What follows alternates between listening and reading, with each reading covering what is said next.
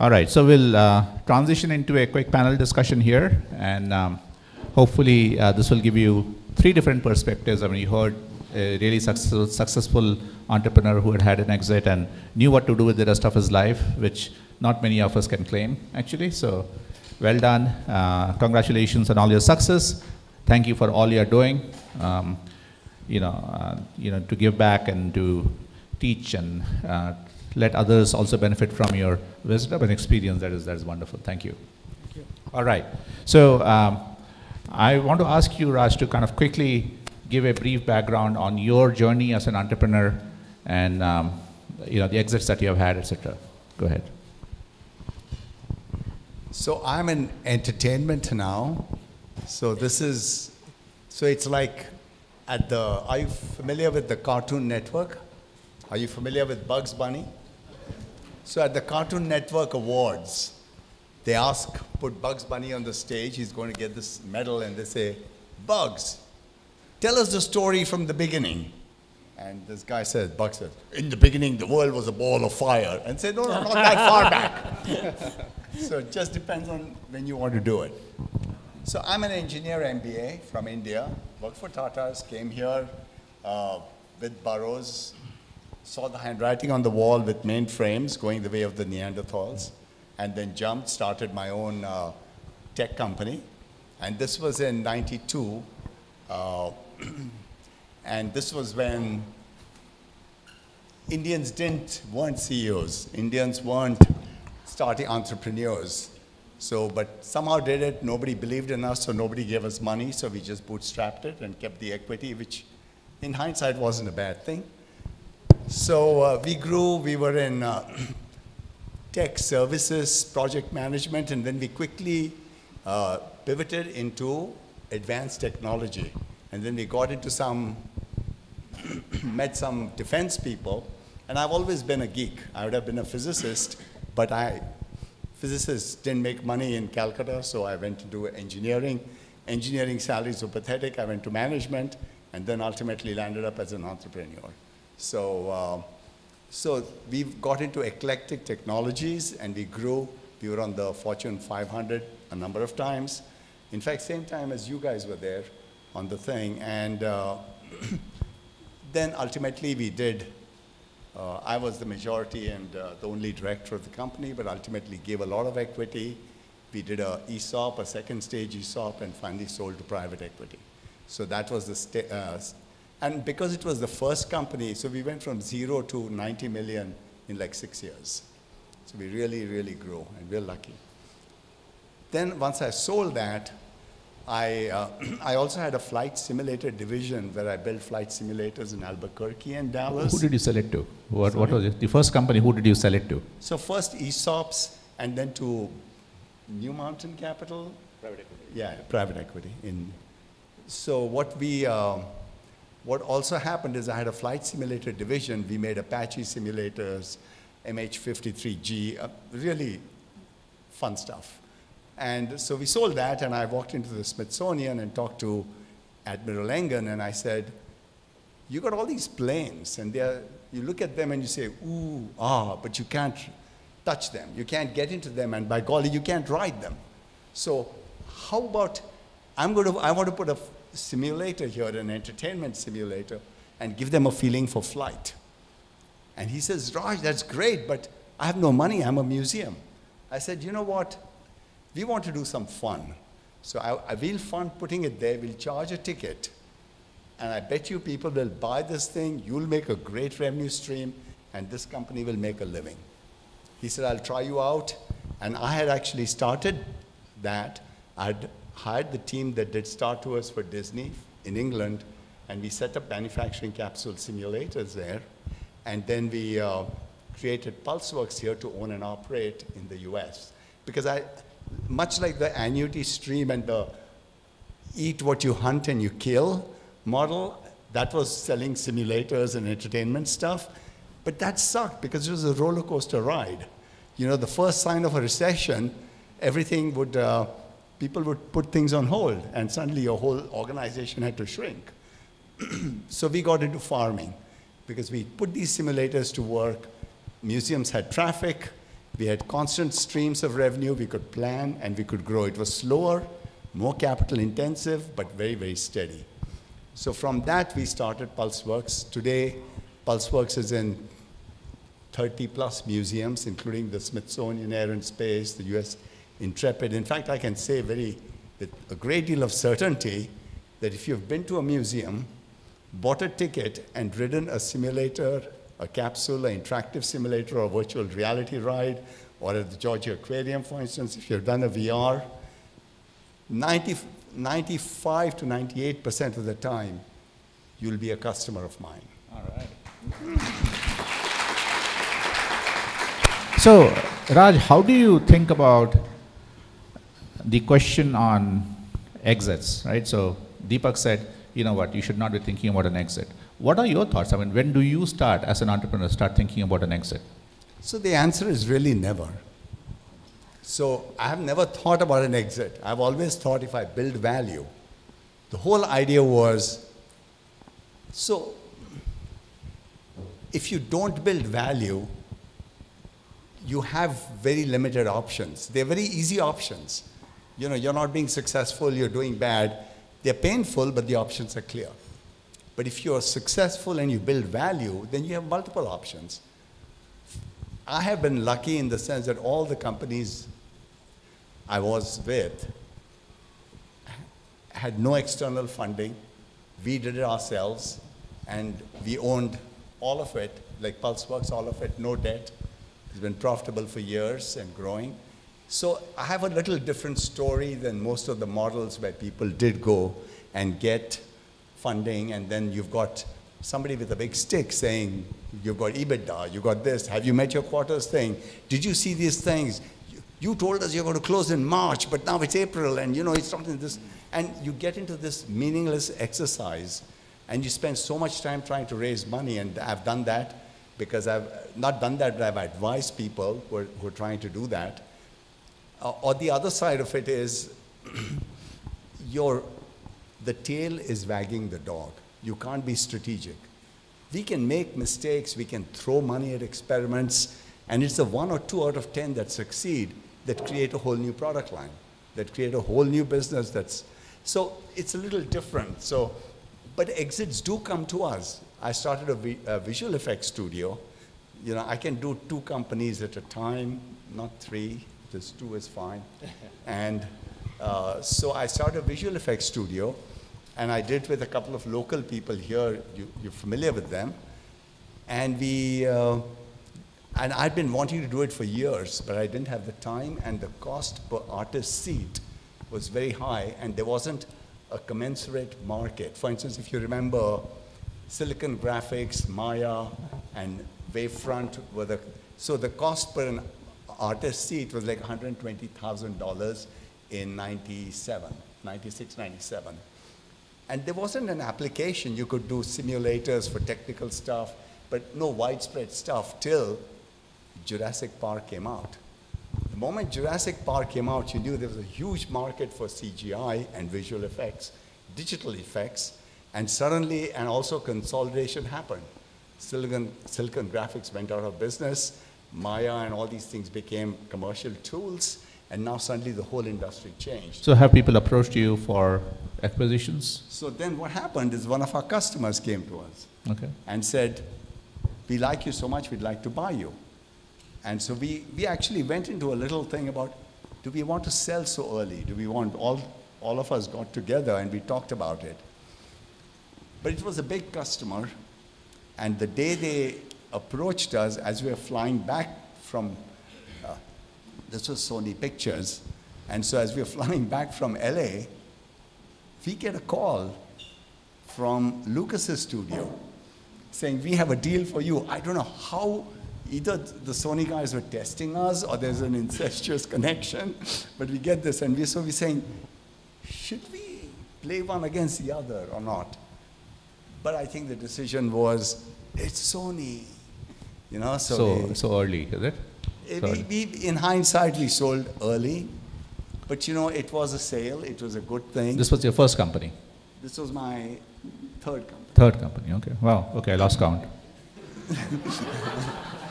No, so uh, here is, listen, I No, but so. this company we are not selling. Absolutely. So here's the thing, though, right? I mean, I would say that if you have any external investors, or if you have employees on your um, cap table, option pools. no, no, hold on, hold on. Let me finish. Let me finish the question. Okay. So, in in when you do have those, then I think you almost have to think about an exit. You have to think about how you are going to actually monetize uh, monetize those people who have trusted you, obviously, and are using that as one of the ways in which they're getting paid, right? So I think that that's that's something to be uh, to be thought about. So. Uh, in my case, let me quickly give my background, and then we can jump into the specifics, if that's okay. Yeah.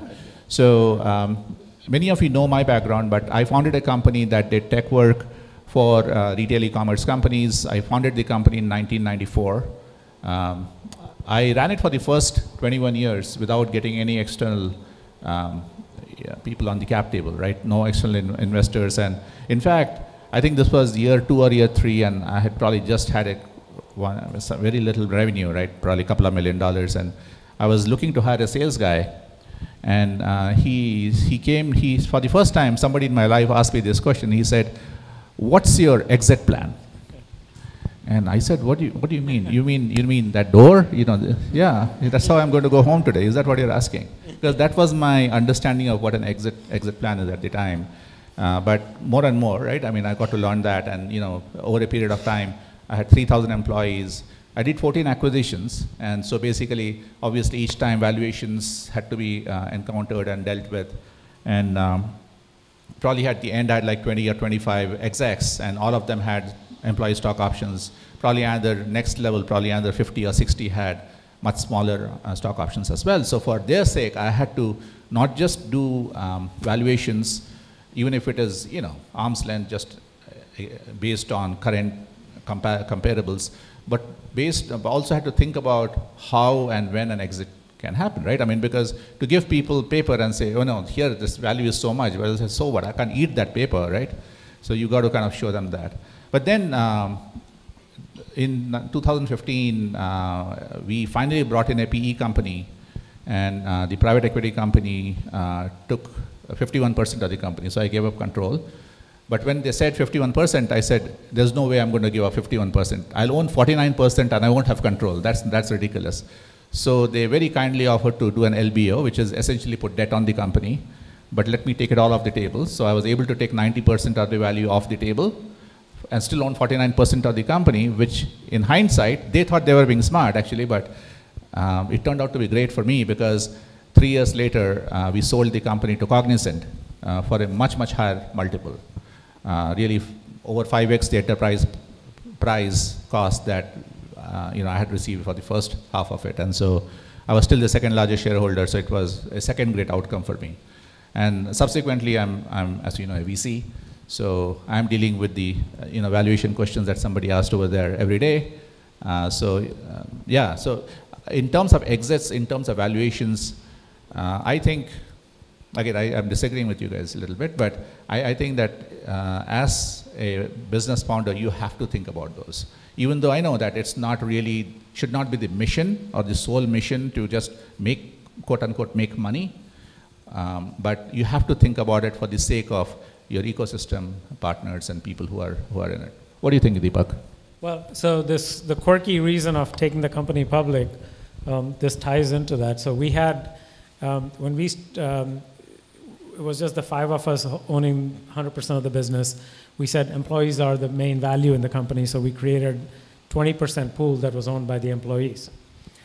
And the challenge as we grew became what do the employees do with that stock? It's a private company, and, and our, the way our stock option plan was written by the attorneys, in order to monetize a stock option that somebody had, they had to actually quit. The only way they could get paid on the employee stocks that they owned was to quit. The company would buy the stock and pay them the money. That was a disincentive. I mean, the whole reason we did it is to keep employees, and now we're telling somebody that if you want to buy a house, or we, our employees were very young, so if somebody was having kids and they wanted to buy a house, they were forced to quit to monetize the stock option. So one of the key reasons we said we need to take this company public was actually to give value to those stakeholders that own part of the company. Um, so I agree with you. I mean, I, I, I'm just saying, if you focus on it overly, focus on it, then it's not the right thing. Yeah. But but it has to be in the back of your mind. Raj, you want to add to that? No, so the first company, the reason we sold to an ESOP part of it and then some more to the ESOP was for exactly this reason.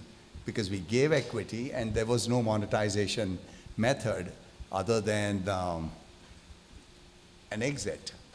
But we had such a fast growth in five years, we just shot up like a rocket that everybody was saying, why don't we wait a year? Why don't we wait a year? Because every time we, we, we went from like 500,000 to 2.5 million to 13 million to 40 to, I mean, we just went through. So it was very, it was, nobody was thinking about that. They were all eyes on the sky. I, I guess you didn't meet the investors in WeWork and those guys. Sorry? You didn't meet the investors in WeWork because they would have given you a great valuation, right? Even for Right, right, right. So, so it's true that ESOPs don't give you the best valuation. That's right. So, but it was more because we wanted the employees to become millionaires. So that was the whole idea is that if you give it, they'll become millionaires. So me if you give it, they'll become millionaires. Sorry, I was, yeah. no, no so- problem. go ahead. No, so that was one case. So we had pressure to do something. But in the other cases, I found that depending on the business you're in, employees may not want equity. And unfortunately, we are in a very simple business where we put these things out and we have a group of very talented wizards who create all this. And, but our force was young, they're not thinking of stuff. But at some point, if we have an exit, I know that they will, they know that Raj will take care of them. So that's the kind of loyalty that we have Uh, fostered. do you think that they don't? it's I mean, very unique. It's very, ours is a very unique case. So let me ask you a question on that. So this was, this happened in my case. I gave out stock options to my employees while my company was, I mean, probably about three, four years before the PE company came in. So I used to always hear, the fa- I mean, they, nobody believed that they would ever be able to monetize it. Now, do, do you see that? Do you think that's one of the reasons why people don't want stock options because they don't believe that Raj will ever sell it? So we, we did have a plan that we will make it valuable through an ESOP. Because then you get money because of your, you know, the way the thing is structured. But in the other case, sometimes when the, the kind of people we have, like for instance in PulseWorks, they are more interested in compensation, bonuses. We give a lot of cash compensation that's very, very uh, valuable to people and we keep people. So it's, that, that's, it's, it's just, I tried giving stock, I tried giving options, and people would say, what am I going to do with this, boss? It's not, not, it's not going to happen. And So so finally we bought those things back and we started giving them a lot of cash. So your business is mostly cash flow business, is that right? Our, our business is a lot of cash flow because we get money before they ride. Exactly. So that, that, then makes that makes sense. Yeah. So, okay, now let's uh, get to That's the true. next It's, phase. it's a different model, completely. So while you have, you said you have sold what, three businesses, you said? Yeah. Three businesses. So for the three businesses, what kind of preparation did you make for the exit? Or did you kind of sort of, it, or did it just happen or, or what are the best practices that you think should be uh, So one of the things that we did, which is not with an exit in mind, but with the fact that we needed to have good people in place. So I've always worked to try to work myself out of a job. Succession plan, Yeah. Yeah, so that if I have a team that can go do it, and I always believe that you cannot have the old triangular method of, you know, Moses on the mountain coming down with slabs of stone with the Ten Commandments, and everybody, you know, laboring minions at the bottom of the pyramid. And if you get in the way, these slabs of stone will crush you. That is not a sustainable model, and this was when we started in 93, 92 because the triangle grows and collapses under its own weight. I'm being allegoric and metaphorical, but you, you get the gist of it. The other model that I really believe in is that where it's an upward triangle with the CEO standing at the side or the founder standing at the side being the coach. And it's open-ended and the people who, where the rubber meets the road is open-ended and growing. And you want to do it in a way that when you walk away, the people say they did it themselves. So you're never missed. So what about, did you think getting an audit done, you think that helps with an exit? What are the things that helps you with an exit? I think keeping very good financials does help. Having immaculate records and being very, very straightforward and honest to the penny. So I think that's an important part so you can go back and tell anybody that, hey, this is so easy to verify. Yeah, I would say I agree. Uh, so one of the first things you got to do is, what is my what is the structure of my organization? Am I going to create it as an LLC? Am I going to create it as a sole proprietorship? Am I going to create it as a C corp? Um, so those kinds of so those decisions are important, and they have long-lasting um, effects that can. If, if you make a wrong decision seven years before you have your exit, when you're at the exit, it could create a lot of headache. So when you, way before the exit, you got to really look at, do I have the right structure of the organization, number one. Number two, uh, as Raj said, the, the books have to be squeaky clean. And so we, we used to have audits done when we didn't need to have audits done, just to make sure that we were confident everything was clean. And uh, in the future, we wouldn't have any issues. Okay, so, you know, um, the process that my company followed, I followed during my exit from my first company um, was somewhat classical, meaning, like you guys really, I hadn't thought about an exit for a really long time for the first several years of my company. And then um, when I started thinking about it, um, it happened mostly because I had a CFO who came from a really large publicly traded company uh, in the city and he looked at the financials and he said, he, he was an M&A guy, so United 14 acquisitions, he was helping with that. But he said that, listen, I mean, I don't know if you know or not, but you know, you can take out a lot of money every year because I was putting it all back into the business. And I said, well, I mean, I don't need the money. I'd rather let the business grow. He said, but you know, you can do this for the next several years. You can take a lot of money out. Or if you want, you can try to get an exit. I said, oh, okay, we can, we can look at that option because you know it was it was largely a services business. It was like being on a treadmill. So I um, we decided to do that. So we brought in a team uh, that built the metrics, build build a deck. We had been doing audits, by the way, for I think seven or eight years prior to that. So we had all that audited, and um, and then when when we did and uh, we went and did a roadshow in probably about six seven cities really all over the world, uh, definitely in the Bay Area and Boston, New York, and Chicago, and Bombay, and so on. And then um, essentially probably about 70 to 80 uh, PE companies, mostly growth equity, and even mezz lenders, uh, because we were figuring out what's the vehicle that we want to use. And eventually we got LOIs from about a dozen or so of them and um, picked really, you know, the highest valuation and also saw if there's a cultural fit, etc. And that's really, uh, so you guys, what, what, was the process that you followed, Deepak, in terms of, you, you described it with the bankers and, uh, you know, this advice they gave you which you rejected, but eventually you did go public. So how did you eventually get to that? Um, so the, va the valuation component or what? No, the exit itself. I mean, the IPO itself. What was the process? Similar to what you mentioned, the IPO process is you get these bankers, um, they prepare the documents, they prepare the S1, you file it with the SEC, and then you, um, the, the bankers underwrite the public offering of the shares. So they guarantee a certain price. So then they will take you on roadshows to meet with uh, buy-side investors all over the country, uh, create the demand, drum up the demand, and then you, you take the company public. We were listed at $15 a share. Um, about 4 million shares, I think, were issued at that time. And uh, they were, uh, the bankers paid us 15 bucks a share. We closed uh, day one uh, in the public market at uh, $22. We opened at like 26 or something, closed at 22. So they make the differential between the 15 and 22 is their profit for underwriting it. Okay. So last question. So post exit, right? So you were associated, you're still associated with the board. That's awesome.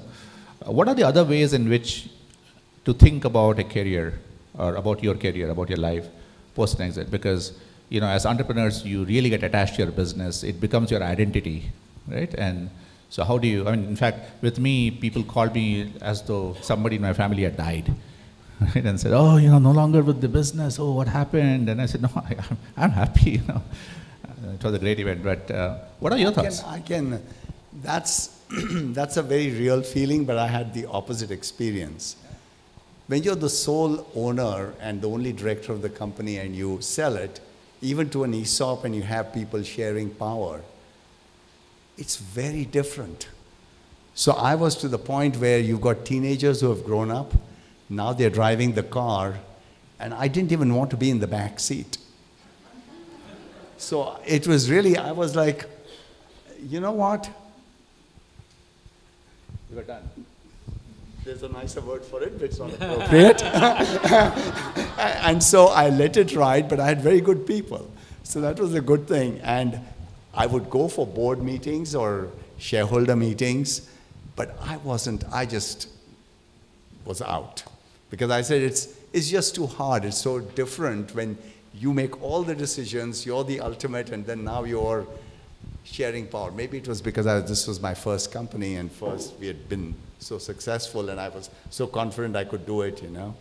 But yeah, that, that, is, that was hard. So for a long time, I didn't even talk about what I did because it was like, I'm done with it, and then started all these other things. Deepak? Yeah, to me, um, I've had to go through layers and layers and layers of that process and continuing to learn and tweak and stuff as it went along.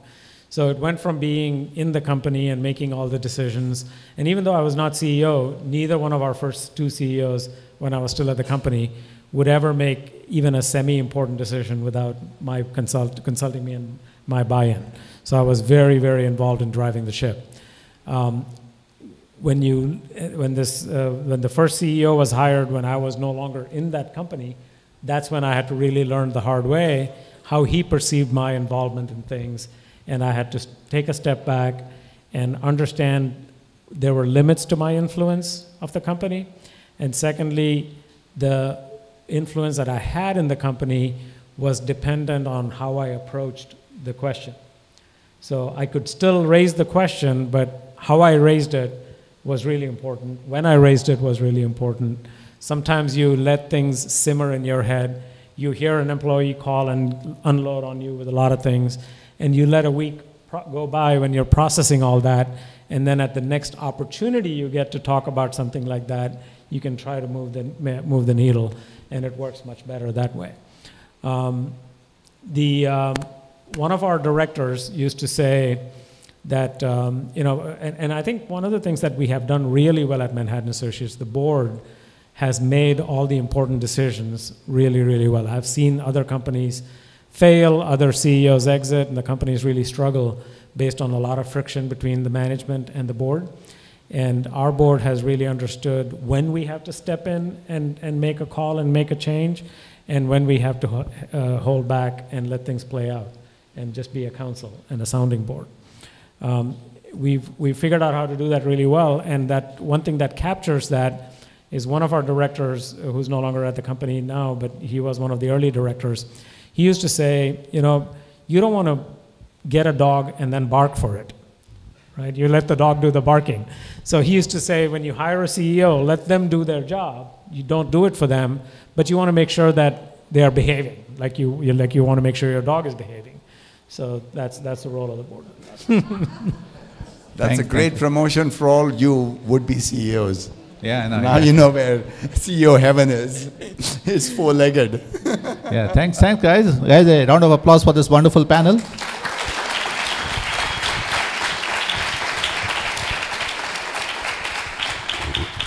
A couple of questions, if anybody has any questions. Thank you. Wonderful conversation. Um, one question I have is these days companies are choosing to stay private for longer. Of course, private equity has a role to play in that. So, from a founder per perspective, valuations being equal, let's say, for an event like that, do you have a bias towards IPO versus uh, private equity and pros and cons? Any of you, for that matter? What was the last part of the question? I couldn't hear. Pros and cons associated with going IPO versus taking private equity funding. I, I, I can, I can. Read. No, no, no. No, no, I- I- I got got it. I got got you. it. So, uh, b- see, uh, it depends on what time of, I mean, what is what is going on in the market. So, when Manhattan went public, at the time it was a lot easier to go public. Yeah, it was a lot less expensive to go public. Uh, it was stylish to go public, right? Um, then, because of our uh, good friends at Enron and uh, you know, companies like that, and WorldLink and Satyam and all that. Um, you know, there are all these things like the Sarbanes-Oxley Act, which have made it extremely uh, expensive in terms of reporting requirements, uh, meaning seven-figure number of dollars every year to meet those requirements, the reporting requirements that are needed uh, according to those. So I would say that today, in today's environment, larger and larger companies are choosing to remain private. Um, and, you know, some of it is, you know, again, there was in the middle this whole thing with SPACs and so on and so forth. Um, but in general, I think that is the case. Uh, with significant revenues in, uh, you know, in the olden days with, you know, double digit million number of revenues, people would go public, but not anymore. Uh, so I think, what do you, what do you think? Yeah, I agree. Um, I think um, at Manhattan Associates, I feel like we have had the best of both worlds where we are a public company, but we have um, maybe about 10 institutional investors that own a vast majority of the shares and they really like us and they are long term holders. Um, so we don't get a lot of uh, churn in the market and we get the stability that we want from a, uh, private equity model, if you will, but, uh, but we're still publicly traded. So all the benefits of the public market is there. I think, I think all things being equal, a public market is better because of nothing other than the fact that there is liquidity for shareholders. But there's a, what's also fueled this thing, like if you look at Stripe or any of these companies that came out from Y Combinator, they've grown privately because there's two reasons. One is there's so much large pools of funds that are being invested in these companies when they are private. And the second part is there's a huge secondary market for executives and others who want to sell their stock at a discount. So you can sell private stock, and there are actually organizations that do it. So what's, what's become unfortunate is that when they are unleashed to the public in an IPO, their upside is limited because they've already factored in all of this thing. Look at Snowflake, look at all Slootman stuff, look at all of that. It's, it's a different racket now than when it was earlier when it went into the public, the public bought into it and could ride Microsoft all the way up. But it's different today. And there are companies that have gone public and then have been taken back private, as we know. That's the other side, reasons yeah, yeah. Absolutely. Well, um, I don't think we have any time. Or, or should we? I was gonna say, We're good? Sorry for being a little late today, too, guys. We appreciate it. Yeah, and sure. huge round of applause for the panel today.